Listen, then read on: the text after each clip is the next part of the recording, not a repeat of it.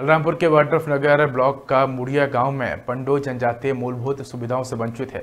आज भी नए स्कूल, सड़क, पानी और स्वास्थ्य संबंधी सुविधाएँ मुहैया नहीं हो पा रही हैं। आपको बता दें कि पंडो जनजाति राष्ट्रपति के दत्तक पुत्र कहलाते हैं।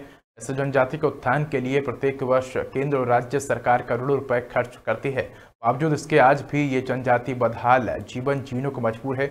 इनके पास ना तो सड़क है, ना बिजली, ना स्कूल, ना पानी। यहाँ के ग्रामीण मूलभूत सुविधाओं से वंचित है। वहीं दूसरी तरफ़ ज़िले के आला अधिकारी सब ठीक होने की बात कहते हैं। दरअसल बलरामपुर के वाड्रफ नगर ब्लॉक का मुड़िया गाँव, इस गाँव की कुल आबादी लगभग 660 के आसपास है। गाँव पंडो बहुल गाँव है। आज भी इस गाँव के ग्रामीण तमाम मूलभूत सुविधाओं से वंचित हैं।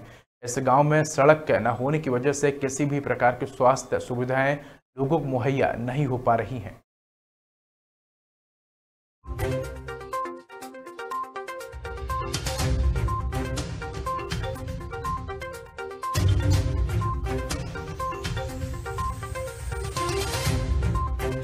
शासन जो है तो खबर है ही है, लेकिन पुलिया का ज़्यादा समस्या है।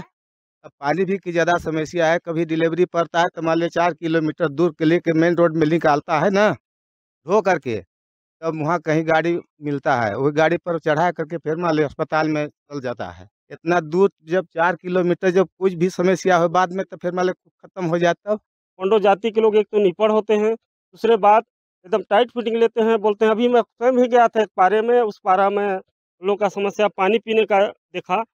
मैं बताया कि देखिए, जिस टाइप का मैं ढोड़ी बना रहा हूँ गाँव गाँव में, इधर आप लोगों के परे परे में, अभी छः ठो ढोड़ी बनाया बना दिया। तीन ढोड़ी तो तैयार हो गया है, तीन ढोड़ी तैयार के कगार में है। लेकिन और हैंड मरवाया, वहाँ हैंड में साला पानी नहीं निकलता है, इसलिए कि पंडो लोग अक्सर ऊँचे पहाड़ों पर बस्ती करते हैं। वो लोग नीचे पानी पीते हैं, वहाँ अगर हम समुदाय के नाम से कुआँ खोदें तो उसमें पानी सक्सेस हो जाए